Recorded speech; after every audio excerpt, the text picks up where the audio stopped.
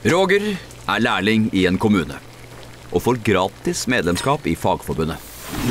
Han har funnet seg en liten hybel nær læreplassen, og for bare 250 kroner i halvåret får Roger kollektiv hjemforsikring. Med denne forsikringen er han sikret hvis noe skulle skje med hans eiendeler. Roger ringer enkelt og greit til LO Favør hvis uhellet er ute. Roger er engasjert og blir tillitsvalgt i den lokale fagforeninga. Der har han reell påvirkningsmulighet på Fagforbundets politikk.